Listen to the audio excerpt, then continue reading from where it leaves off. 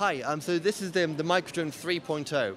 So this is the, um, the, the next generation drone um, with uh, VR capabilities. Yeah, can you give us a, a quick flying demonstration? Sure. So the 3.0 is, is um, we have um, a lot more inertial sensors to stabilize it. So when you're flying, it doesn't just move off at any angle. It always stabilizes it and it's perfectly balanced. So power it up and you're hovering. Go forward and backwards, turn it, Give me a new haircut. and it can go 45 miles an hour in a straight line.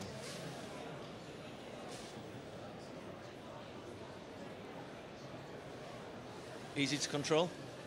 Super easy. It's much more, much more easier than previous helicopters or drones because of the sensors we're using. Fantastic. Another cool feature about the 3.0 is that you can fly it with the um, iPhone and the controller. So there's multiple, there's multiple um, devices to fly it. So you can pick up the iPhone. You can fly it from the iPhone, from the iPhone itself. itself. Wow.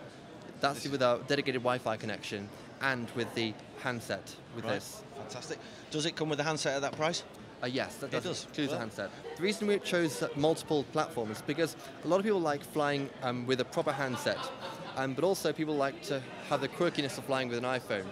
So the disadvantage of flying with iPhone is the range because you have a 20 meter range. Right. But with the 2.4 gigahertz controller, you get a 120 meter range. So having those options, you can just pick up the iPhone, fly it around, pan it around using gestures and tilt control, and then you can pick up the remote control and then do extreme maneuvers, sort of manual flips. You can do um, pre-programmed algorithms, and you can do crazy acrobatics like panning around at 45 degrees. Wow, fantastic. Excellent. Well, thanks so much for giving us all the details. Thank you.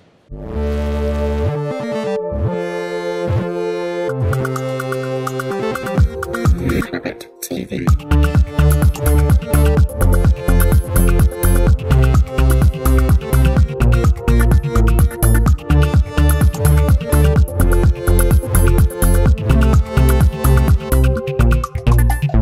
Clubit TV.